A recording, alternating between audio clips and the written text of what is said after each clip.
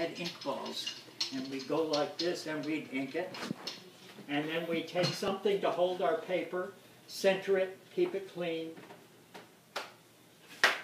And then we'd move the bed of the press, and this was wood, and this was wood. We'd put those together, and then we'd have our chase right in the middle, and somebody then would turn a screw to force this down.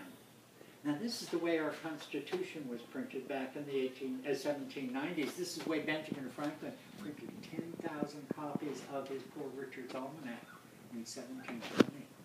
Wow. And uh, uh, the uh, finally, somebody made an iron press, and that was better. And then somebody up in Hartford, Connecticut, came up with this.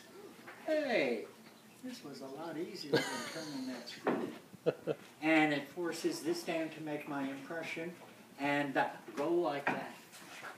And uh, I'm going to roll this out. And two people working together on this could make a better impression than I did in the uh, in the thing. So uh, I'm not even sure. I didn't ink it in the first place. If anybody noticed that, I was talking about doing it. But this is a this is a roller, and rollers come. It's kind of interesting. You know, your iron press comes 1800, and uh, uh, the uh, Talgo comes about 1808, and this comes about 1812. It's almost like what happened with the iPhone. You know, when you consider is the thing Stages. is technological change happens, and it gets better or faster and does more things for you.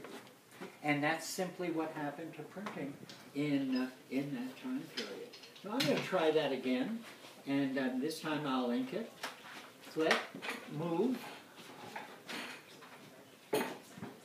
Now I talk about two people working on this press back in the uh, early 1800s. Uh, uh, it was because of the kind of paper we had. And uh, the paper was made from rags and linen.